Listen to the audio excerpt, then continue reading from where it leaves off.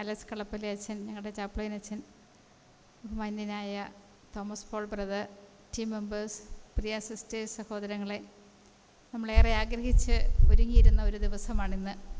Brother Thomas Paul എന്ന് പറഞ്ഞാൽ നമുക്ക് എല്ലാവർക്കും അറിയാം വളരെ ഒരു ഇന്റർനാഷണൽ പ്രീച്ചറാണ് വളരെ ശക്തനായ ഒരു പ്രവാചകനാണ് ഒരു സുവിശേഷ പ്രസംഗകനാണ്.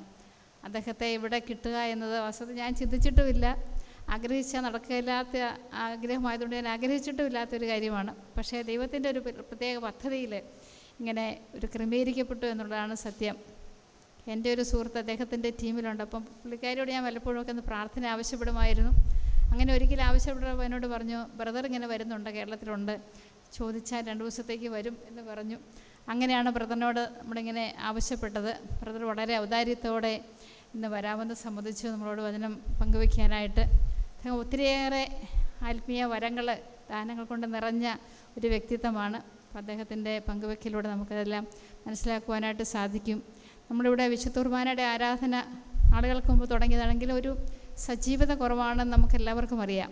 അദ്ദേഹം പല ഹോസ്പിറ്റലുകളിൽ നിത്യാരാധന ആരംഭിച്ച് വളരെ സജീവമായിട്ട് കൊണ്ടുപോകുന്ന ഒരു ഒരു ദൗത്യം കൂടി അദ്ദേഹം ഏറ്റെടുത്തിട്ടുണ്ട്. വളരെ വിജയകരമായി നടക്കുന്ന ഒരു ദൗത്യമാണത്. അപ്പം നമ്മുടെയും എന്റെയും ഒരു ആഗ്രഹം അതാണ് ഇവിടെ വിശുദ്ധ കുർബാനയുടെ ആരാധന നിരന്തരമായി നടത്തി നടത്തി.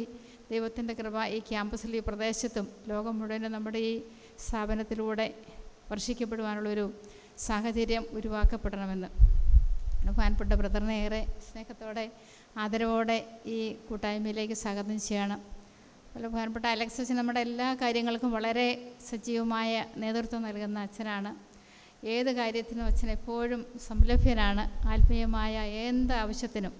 രാത്രിയോ പകലോ വ്യത്യാസമില്ലാതെ നമ്മുടെ എല്ലാ കാര്യങ്ങൾക്കും ഉണ്ട്. ബന്ധപ്പെട്ട അച്ഛനെയും ഈ വേദിയിലേക്ക് സ്വാഗതം ചെയ്യുന്നു. ഇന്നത്തെ ദിവസത്തിന്റെ എല്ലാ അനുഗ്രഹങ്ങളും നിങ്ങൾക്ക് എല്ലാവർക്കും ലഭിക്കട്ടെ എന്ന് ആശംസിച്ചുകൊണ്ട് എന്റെ കൊച്ചു വാക്കുകൾ ഉപസംഹരിക്കുന്നു താങ്ക്